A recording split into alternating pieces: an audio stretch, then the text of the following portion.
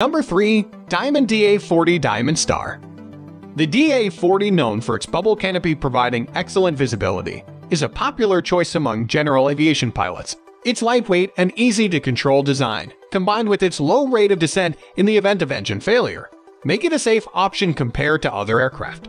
With only one fatal accident per 1,000 airplane years, the DA40 has a remarkable safety record.